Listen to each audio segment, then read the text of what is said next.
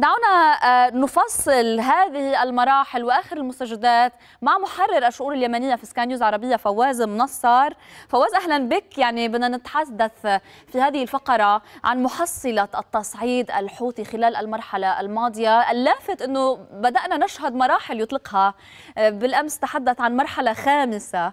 فدعنا نستعرض بداية المرحلة الأولى التي كانت لربما تتركز في بداية هذا الصراع على استخدام الحوثيين للصواريخ المجنحة والبالستية والطائرات المسيرة.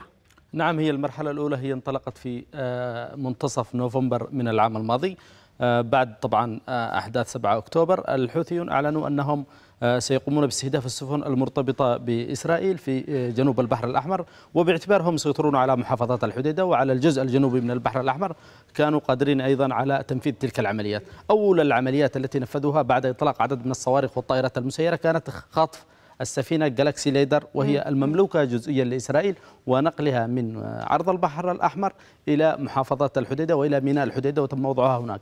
ولا زال أيضا طاقم هذه السفينة مختطف بعد ذلك الحوثيين قاموا بتنفيذ عدد من العمليات استخدموا صواريخ بالستية صواريخ مجنحة استخدموا صواريخ أيضا بحرية طبعا القرار العسكري بالنسبة للعملية البحرية هو بيد خبراء الحرس الثوري المتواجدين على الأراضي اليمنية وأيضا خبراء حزب الله لأنهم هم من يمتلكون هذه التقنية وهم من قاموا بتدريبهم أيضا عليها. هناك جزء صح. من الحوثيين تدربوا في إيران يعملون ضمن القوى الصاروخية لكن القرار العسكري في موضوع البحر الأحمر وأيضا موضوع العملية البحرية بيد خبراء نعم. ايران المتواجدين داخل الاراضي اليمنيه. فاذا المرحلة الأولى تركزت على السفن الإسرائيلية، المرحلة الثانية تركزت على السفن الأجنبية التي كانت تتجه نحو إسرائيل.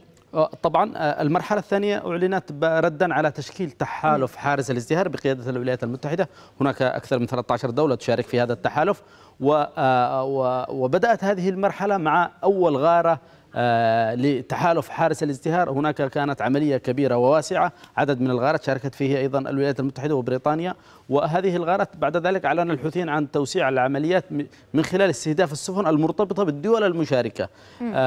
أيضا عملية الاستهداف كانت تطال أيضا سفن لا علاقة لها بالدول المشاركة في تحالف حارس الازدهار كانت العمليات عشوائية لكن إحنا نتحدث عن نعم. عدد كبير من الصواريخ البالستية والطائرة المسيرة.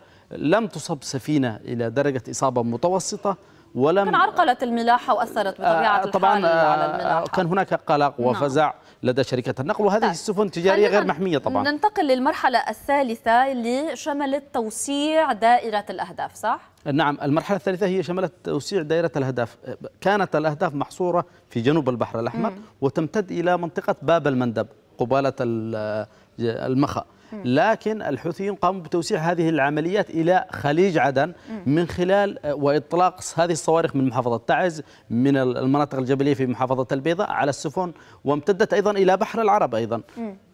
هلا المرحلة الرابعة هي التي لم أنا أفهمها كثيرا لما قالوا أنه يعني يعني تتركز على استهداف السفن في البحر الأبيض المتوسط. لأنه اليوم عم نطلق المرحلة الخامسة المرحلة الرابعة لم تتحقق. طبعا الحوثيين قبل أن يتحدثوا عن المرحلة الرابعة كانوا تحدثوا أيضا في بيان دون تسميته بمرحلة أو وصفه كمرحلة. تحدثوا أنهم قادرين على استهداف السفن التي تمر عبر رأس الرجاء صالح والمحيط الهندي. حتى اللحظة لم يتمكنوا من تحقيق أي نتائج في موضوع رأس الرجاء الصالح وموضوع المحيط الهندي. م. كل جميع المحاولات الحوثيين فشلت في استهداف السفن المرت... التي يقولون عليها أنها مملوكة لإسرائيل وتتجه عبر رأس الرجاء الصالح أعلنوا عن المرحلة الرابعة وهي يتحدثون هنا عن استهداف السفن نعم. في البحر الأبيض المتوسط طبعا تصريحات عبد الملك الحوثي جاءت لتؤكد ما ورد أيضا على لسان قائد الحرس الثوري في نهاية العام الماضي والذي قال أنه نحن قادرون على تنفيذ عملية في البحر المتوسط وجبل طارق. إذا الحوثيون غير قادرين الوصول إلى رأس إلى المحيط الهندي. إذا هم غير قادرين على الوصول إلى البحر المتوسط. هنا نتحدث أنه من المرجح أه. أن حزب الله اللبناني هو المتواجد على البحر المتوسط سينفذ العمليات وسيتبناها جماعة الحوثي. باعتباره هو الذراع الإيراني المتهور حتى اللحظة من, من خلال هذه العمليات. نشوف أنه الحوثي يتكلم بلسان حزب الله مؤخرا. يعني يتحدث عنه عن والعكس أيضا صحيح. حزب الله يتحدث عن العمليات ونجاحها صحيح. لكن الحوثي لديه مقاتلين في في مناطق حزب الله المقاتلين هناك فقط للتدريب لكن عناصر حزب الله المتواجدين على الأراضي اليمنية للتنفيذ وإدارة م. المشهد العسكري ويعتبر هم ثاني فصيل يمتلك القرار في موضوع العمليات البحرية وهو حزب الله بعد يعني تتوقع في المرحلة الخامسة دور الحزب؟ لا نتو...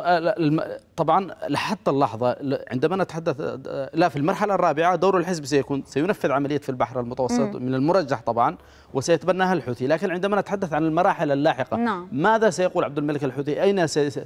أين سيطلق سيطلق الصواريخ مثلا على الأطلسي مثلا لذلك الحوثيون حتى عندما الآن هم يتحدثون عن عمليات كبيرة وأرقام متعددة حتى اللحظة استخدموا أكثر من 500 صاروخ وطائرة مسيرة لم تغرق غير سفينة واحدة ولم تصب إصابة كبيرة إلا سفينة واحدة وواصلت الإبحار إلى وجهتها. إذا الحوثيين معظم عملياتهم كانت هامشية وشكلية والتصريحات والمراحل التي تحدث عنها عبد الملك الحوثي بالأمس في خطابه الأخير هو عبارة عن دعاية سياسية أكثر مما هي على تتحقق على أرض الواقع. يعني. نعم.